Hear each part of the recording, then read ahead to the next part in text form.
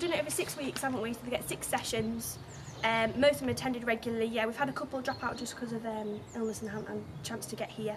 Um, but with the sessions, they get um, the full primary memberships. They've got all access to the gym, classes, tone zone, crash, um, and then they just get the chance to socialise with the other young mums because there's not that many classes run for young run for young mums around here. So it's just an opportunity to get them out and get them excited. They still have the ability to have a child with them as well, so they don't necessarily need to leave them at home or anything like that. So that was.